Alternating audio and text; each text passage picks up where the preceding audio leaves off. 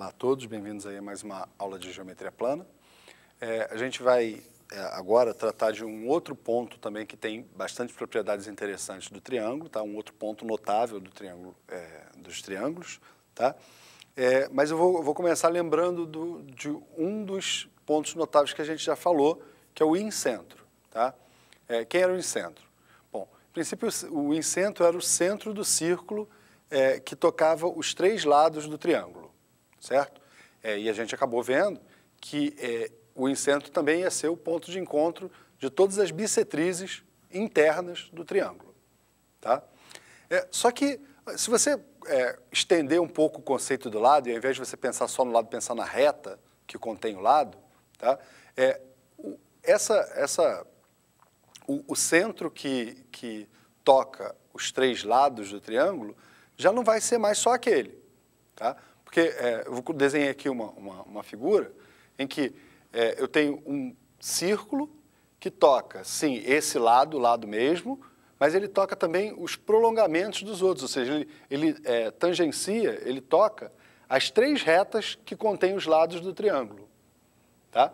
Então, ele, é, é, o centro desse círculo vai ter a mesma distância até as retas que contêm os lados do triângulo, que é parecido com a característica que o incentro tem. Tá? Então, digamos que você esteja procurando um ponto, está procurando um ponto que está a uma mesma distância é, dos, dos três lados do triângulo. Tá? Se você considerar lado só o segmento, se considerar lado só o segmento, o único ponto é o incentro, que a gente já viu. Tá? Mas se você é, estender um pouco seu, é, seu é, conceito de lado e pensar é, na reta que contém o lado, tá? esse, esse, esse ponto deixa de ser único. Né? Passo a ter, por exemplo, esse outro aqui. Eu tenho, continuo tendo o incentro aqui, mas eu deixo ele de lado ali. Tá? E é, passo a ter um, um, é, um ponto fora do triângulo que tem essa mesma característica. Na verdade, eu não vou desenhar aqui porque o desenho vai ficar feio, tá? e aí vai, ficar, vai acabar piorando para você entender. É, para cada lado, eu tenho um círculo que toca esse lado e o prolongamento dos outros dois. Então eu tenho um ponto com essas características tocando esse lado, eu teria um outro para cá tá? e mais um terceiro para cá. Tá? É, o nome desses pontos é, que estão fora do triângulo, mas estão à mesma distância das três retas, tá? vai ser é, ex-incentro.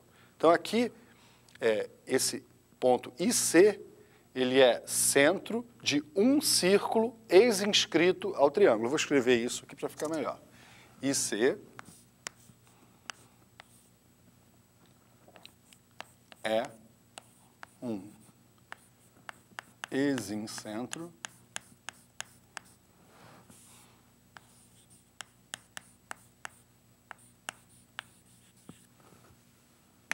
E o que, que significa ser um ex-incentro? Centro.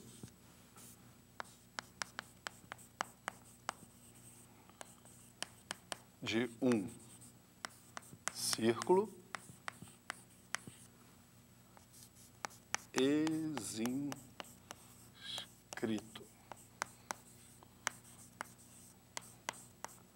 ao triângulo. Tá? Então, IC é um ex-incentro do triângulo. Eu tenho um outro ex-incentro que toca o A e tenho outro ex-incentro que toca é, o, o AC e outro ex-incentro que toca o lado BC. Tá bom? O que, que a gente pode é, falar sobre esse ex-incentro? Bom, é, como, como é, a distância daqui até aqui é o raio, e esse raio normalmente a gente dá o nome de Rzinho C, tá? Vamos usar a mesma notação de todo mundo. Não vou precisar dele, mas se eu tivesse que dar o um nome para ele, chamar de Rzinho C, é, esse raio é igual a esse. Então, olha só, o, o, o ex-incentro IC, ele está à mesma distância desse, é, dessa reta e dessa reta. Agora, eu posso pensar só dessa semi-reta e dessa semi-reta. Por quê? Pensando só nessas duas semi-retas, eu tenho esse ângulo, que é um ângulo é, importante do triângulo, é o ângulo externo B. Tá? E como é, o, o ex-incentro está à mesma distância dos dois, ele pertence à bissetriz desse ângulo é, externo B. Tá? Então, essa bissetriz, que é chamada de bissetriz externa,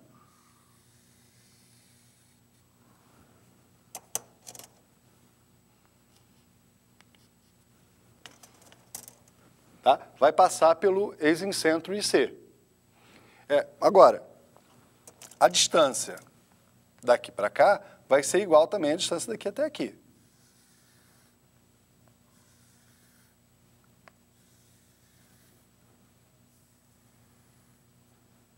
Essa distância aqui. E com isso, ó, é, esse, esse ex-incentro, ele vai pertencer também à bissetriz do ângulo externo A. Vou marcar aqui o ângulo A. Esse daqui vai ser o ângulo externo do ângulo A. Tá? Vai ser o externo do ângulo A. E se eu ligar do A para cá, essa linha divide em dois pedaços iguais. Ou seja, é a bissetriz externa de A. Certo? É, com, como como é, a distância daqui até aqui é igual à distância daqui até aqui, eu ainda posso dizer que esse ex-incentro ele pertence à bissetriz interna do C. Tá? Porque é, esses lados são exatamente os lados que formam o ângulo C. Certo? Quer dizer, é, se eu... Eu vou apagar essas, essas alturas aqui, porque realmente não, senão meu desenho vai ficar tão cheio de linha que você não vai entender nada. Só serviu para argumentar que ela que pertencia às bissetrizes externas. E também vai pertencer à bissetriz externa a bissetriz interna, desculpa, daquele ângulo lá longe. Ó. Esse pedaço vai ser igual a esse pedaço. Tá? Um exercício bem famoso pede para você calcular é esse ângulo aqui. Chamar esse ângulo aqui de alfa.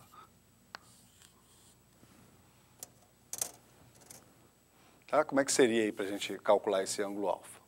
Tá? Então, você pode, se você quiser é, tentar, pode pausar um pouquinho, tentar resolver aí, eu vou resolvendo aqui agora aqui para quem quiser depois conferir. Tá? É, é um exercício bacana pelo seguinte, é, eu não dei informação nenhuma praticamente disso daqui. E é claro, se, se eu não dei informação nenhuma, o, o, o, que eu vou obter vai ser em função da, daqueles elementos genéricos. Eu tenho o ângulo, eu vou chamar os ângulos aqui de ângulo A, ângulo B e ângulo C. Certo? Vou chamar ângulo A, ângulo B, ângulo C. É, eu vou tentar calcular o alfa dependendo desses valores. Tá? É, na verdade, o exercício mais legal dele seria se eu desse só um dos ângulos. Se eu desse só o valor do ângulo A. Aqui, por exemplo, A vale 70 graus. E eu não falo nada sobre o B e o C. Certo? Eu podia pedir é, o valor desse ângulo alfa aqui com isso. Mas vamos, vamos calcular com A, B e C mesmo, porque depois, se você quiser fazer o se você encontrar o exercício aí que é o original, você já vai conseguir a resposta logo imediata. Tá? É, e para resolver isso daí, eu vou usar eu vou usar é, o que eu chamei de teorema do ângulo externo. Tá? Porque, olha só, é, o ângulo externo B, que eu vou chamar de B', vou fazer aqui. O ângulo externo B, que eu vou chamar assim de B', ele vai ser igual à soma dos internos não adjacentes, ou seja, vai ser igual a A mais C.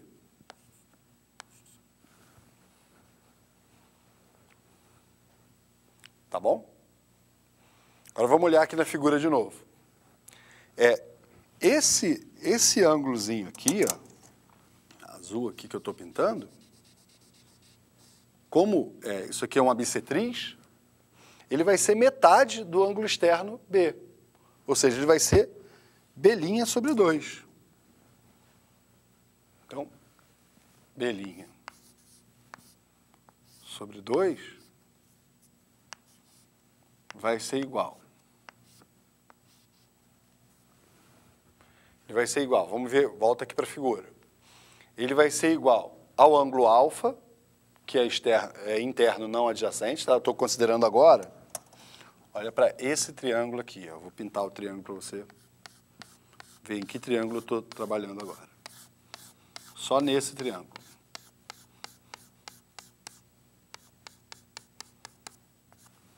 Tá? Estou pensando só nesse triângulo aqui.